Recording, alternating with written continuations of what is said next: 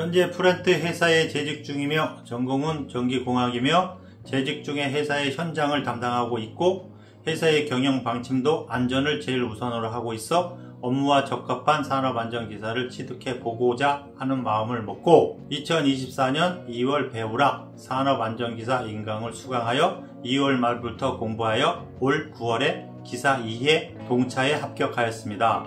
참고로 나이는 5학년 7반입니다. 제 이름에도 배우락이 들어갑니다. 공부는 필기 6과목 약 2개월, 실기 약 2개월을 공부하여 합격하였습니다. 직장을 다니면서 공부하는 것이 어려움이 있는데요. 특히 야근 또는 근무 시간 후 회식이 있는 편이라서 어려움이 있었는데요. 그래서 회식 후에도 집에 가서 배우락 강의를 공부하는 동안 하루도 빼먹지 않고 꾸준히 한 것이 많은 도움이 되었습니다. 강의를 PC를 볼 수도 있고 핸드폰으로 강의를 볼 수 있어 좋았고 집에서 핸드폰으로 공부를 했어요. 편리하고 좋더라고요. 산업안전기사 오프라인으로 하는 학원을 찾아보니 없더라고요. 그래서 생각한 것이 다수의 온라인 인강 사이트를 찾아서 샘플 강의를 들어봤고요.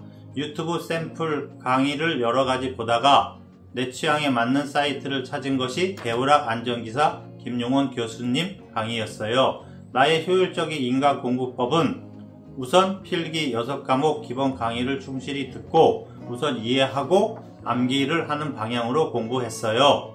이해가 안 되는 것은 반복 학습을 했고요. 그리고 쉽게 이해되는 내용은 인강의 속도를 높여서 강의를 봤어요. 그리고 실기 시험은 최근 간연도 문제 8년치 위주로 공부를 했어요. 산업안전기사 실기 계산 문제는 한 문제 정도만 나오기 때문에 나는 계산 문제에 자신이 있어 꼭 맞추겠다는 마음으로 준비를 했어요. 계산 문제가 어려운 문제는 아니었어요.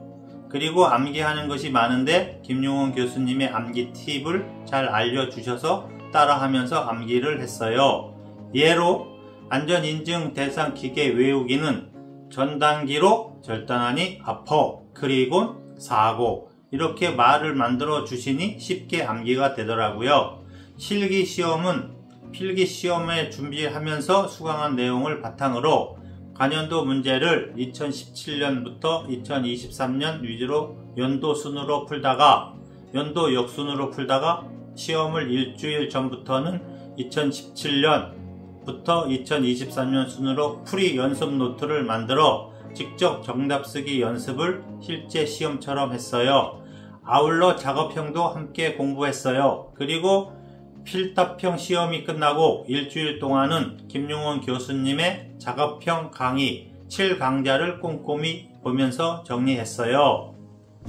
필기 시험 전날 마무리는 김용원 교수님이 만들어주신 핵심 요약집을 정리하여 보았고 시험장에 갔어요. 필기 시험은 위에서 공부한 실기 연습 노트를 보면서 remind하고 시험장에 갔어요. 위에서 공부한 방식이 나의 공부 방법인데요. 요약하면 필기 시험은 이해를 먼저 하고 암기하는 방식이고요. 필기 필답형은 관연도 문제 풀이 위주로 하고 작업형은 김용훈 교수님의 7강좌를 추천하고 싶네요. 산업안자 기사 취득을 공부하는 분들 파이팅입니다. 시험 공부 기, 간은 필기, 실기 각각 2개월 하면 가능하고요. 하루 2시간 정도 했어요. 우리나라가 안전 선진 국가로 도약하기 위해서는 산업안전기사가 필수입니다. 자격 취득 공부는 배우락의 산업안전기사 김용현 교수님의 강의를 추천합니다. 이 강의와 함께라면 산업안전기사 자격 취득이 문제 없습니다. 감사합니다.